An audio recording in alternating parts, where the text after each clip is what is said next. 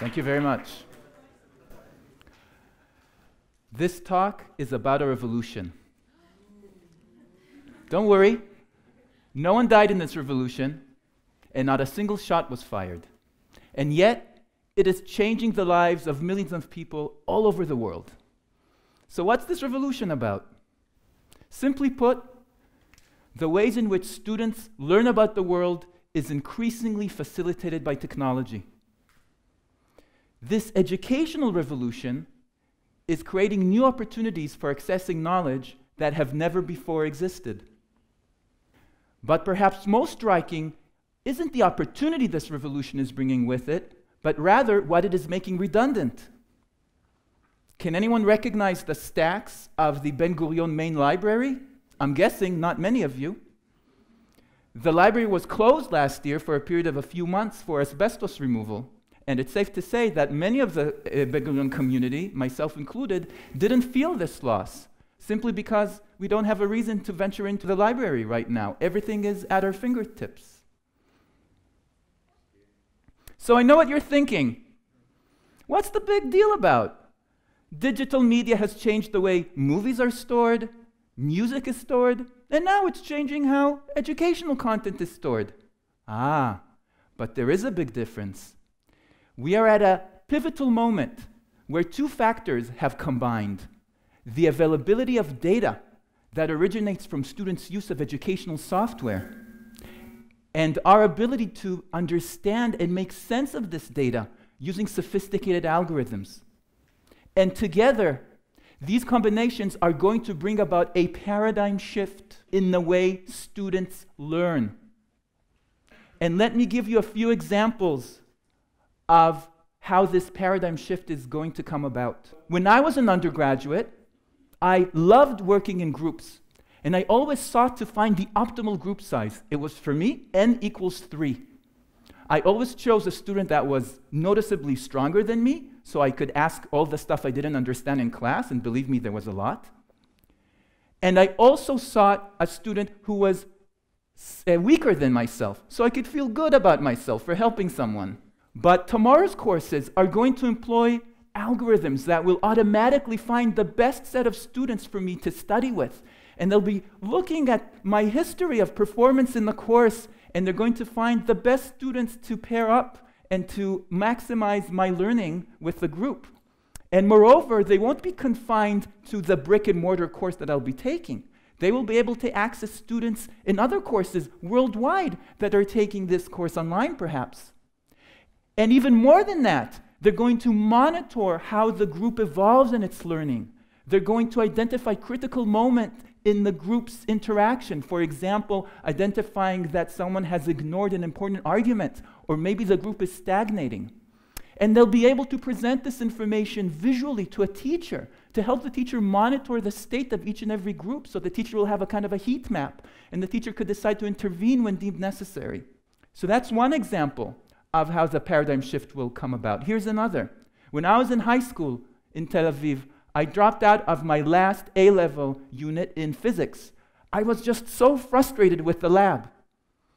There was very few equipment that actually worked, a big queue of 40 students to try to use the equipment, and a single teacher, overworked, underpaid, in no way capable of providing support for all of the students who needed that person's help in the lab.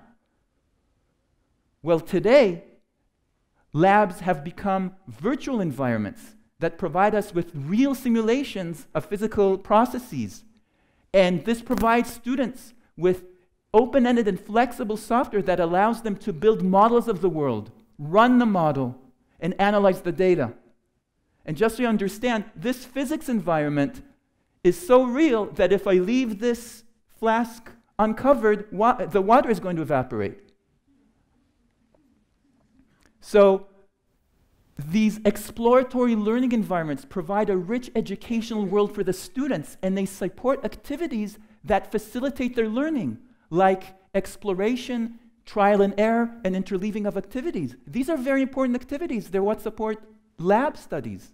So I've given you two examples of, of this paradigm shift. How can it come about? I claim that in order for a real change to occur in learning, we have to design computer systems that are true collaborators and partners to the learning experience. We can't make computers replace teachers. We can't make computers disrupt the learning process of students. Rather, the computers should be collaborators. This means that from the student perspective, they provide intelligent, machine generated support that understands the individual needs of each student, that seamlessly guide the student in its learning process and intervene only when needed. From the teacher's perspective, this means that the computers should provide intelligent visualizations of how students use software, providing the teachers with the ability to monitor what the students are doing and to intervene if deemed necessary. Let me give you two examples of my work in Ben Gurion University that is bringing about this change. So I mentioned exploratory learning environments. I teach Introduction to Probability in uh, the university, and this is one of the questions that I like to give to my students. So we rolled two dice, and we kept track of how many, uh, how often we obtained the sums 2 through 12. So for example, if one die came out 3 and the other die came out 4, then the sum is 7. And I asked the students, do you think 11 comes out more often than 12? Any ideas here, by the way? Well, to understand this question, one needs to understand abstract probability theory. So uh, one needs to understand joint random variables, one needs to understand the concept of equivalence classes, and to realize that there are two events that can give the sum 11, 5 and 6, and 6 and 5, while only one event that can give the sum 12, mainly 6 and 6. And because each of these events is equally likely, then we should expect 11 to come out more often than 12. But we pose this question to eighth graders who know nothing about probability. And what they do is they're able to explore this empirically by using exploratory software. So here's a snapshot of how a student might be using the software, creating two dice using a model, then running the model and generating a thousand instances of two dice, subsequently separating these instances into individual throws, and projecting this data on a histogram, analyzing the histogram to realize that 11 comes out more often than 12. Well, so far so good, but how is this single teacher going to understand what an entire classroom of 40 students are doing with the software? The software outputs a log of hundreds and hundreds of actions representing every mouse click and every menu item of the student. These are low level events.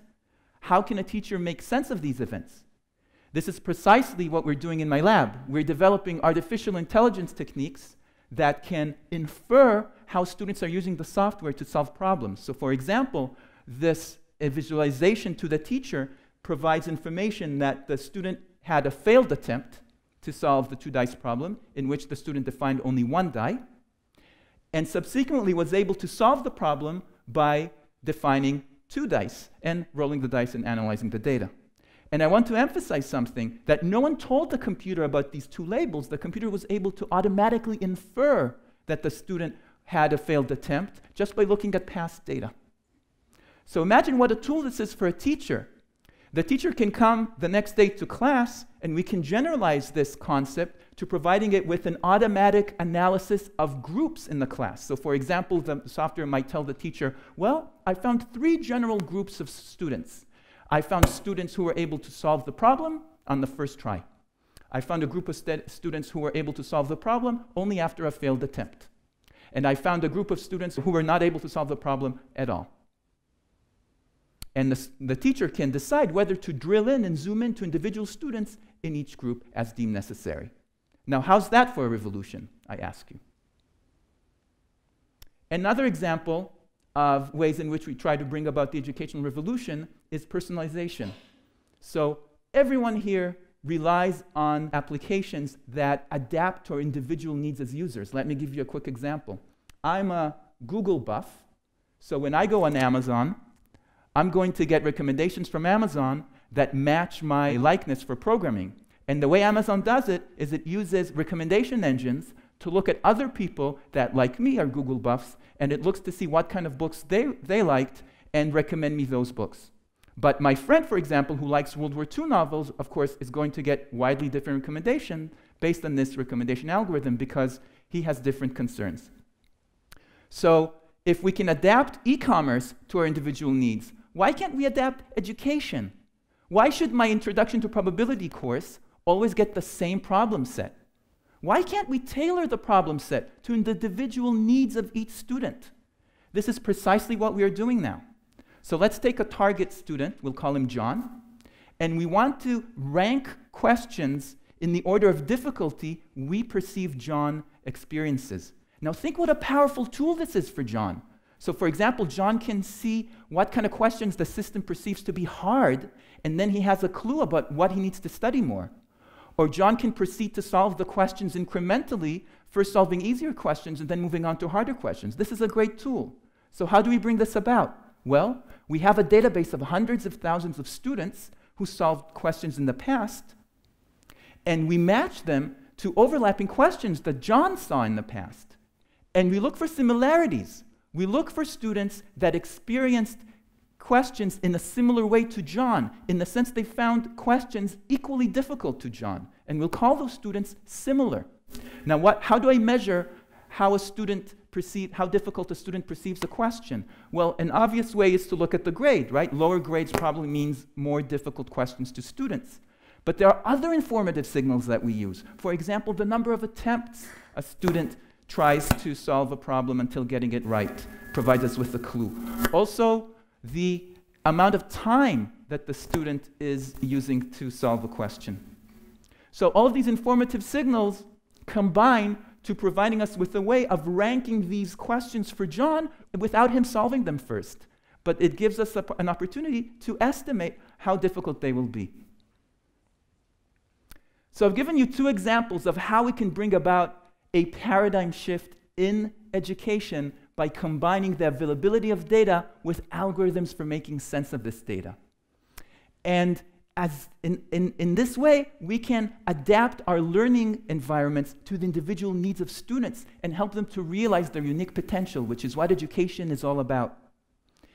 So my dream and vision is to have the computer be a co true collaborator with the student, a friendly parent, if you will, on the shoulder of the student, identifying exactly when is the right time to intervene and intelligently and gently nudge the student into the right direction. And this kind of work, my friends, will change the way our children learn forever. Thank you.